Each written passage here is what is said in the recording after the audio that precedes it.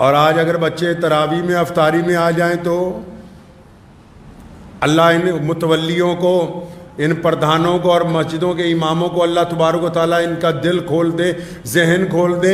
जिन मस्जिदों में इमाम और जिन मस्जिदों के मुतवली जिन मस्जिदों के सदर, जिन मस्जिदों में नमाज़ पढ़ने वाले बुढ़े, जिनके दिल में ये बार बार बात आती कि बच्चे शोर मचा रहे हैं बच्चे अगली सब में खड़े होकर बच्चों को पीछे करो, बच्चों को लाते मारो। आने वाली कौम का मुस्तकबिल है ये।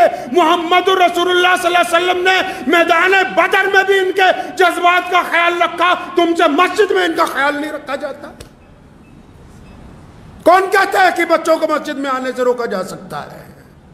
क्या इंतज़ाम किए? रमज़ान मुबारक की मुकदस सातों में। ये जो बाहर से आने वाले बच्चे इनके लिए क्या तुमने बेहतरीन कोई खिलौने ला के रखे, कोई बेहतरीन चीज़ ला के रखी, कोई ऐसी कायदे ला के रखे, कोई बेहतरीन किताबें ला के रखी? क्या इनको चॉकलेट देते हो? क्या इनको बेहतरीन अफ्तार कराते हो? क्या इनसे कलमात सुनते हो? क्या इनके साथ बैठ के कुछ दिन की, कुछ मोहब्बत की बातें करते हो? ये आने वाला मुस्तकबिल है। ये मुसलमानों के इमाम है। इनमें मुसलमानों के लीडर हैं। इनमें मुसलमानों के मुजाहिद है इनमें मुसलमानों के कायद मौजूद हैं। इनमें मुसलमानों की इकतसादी मदद करने वाले होनहार मौजूद हैं। कदर ही कोई नहीं कि मस्जिद तक आ रहे हैं, तुम इनकी खिदमत कर सको। बिल्कुल हैरत की बात है कि जी बच्चे जो है, मस्जिद में आके शोर मचा रहे हैं।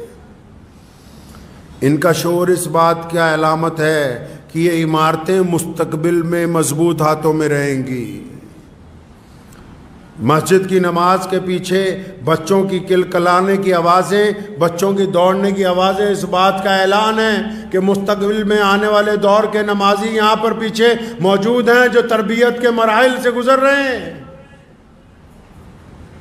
प्यारे नबी हज़रत मोहम्मद रसुल्ला ने सजदा किया सैदना इमाम हुसैन रज़ी छोटे से हैं, दौड़ के आए, अपने नाना अबू के कंधों पर बैठ के नबी सलाम ने सजदा लंबा कर दिया, मुबादा उठूँगा तो हुसैन को चोट ना लग जाए। ये नहीं कहा कि हुसैन को रोको, ये नहीं कहा कि बच्चों को पकड़ के रखा करो, नहीं, ये बच्चे हैं, ये कौम का मुस्तकबिल हैं। अगर ये मैदान में नहीं होंगे, अगर ये मस्जिद तक नहीं आएँगे, अगर ये आपके साथ कंधे से कंधा मिला के चलने का फन नहीं सीखेंगे तो कल को कौन है जो बैठ के कुरान की तिलावत तिलावतें करेगा, कौन है जो इन इमारतों की हिफाजत करेगा?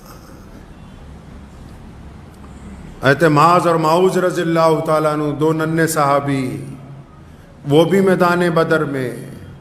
अब ये दोनों बच्चे जो हज़रत अब्दुलरहमान बिन औफ के ज़िम्मे लगा दिए, कि इन दोनों बच्चों का ध्यान रखना भाई। क्या करना है जी इनको बचा के रखना है, कोई इनको मार ना दे? अब ये एक बच्चा दाएँ खड़ा है, एक बच्चा बाएँ खड़ा है।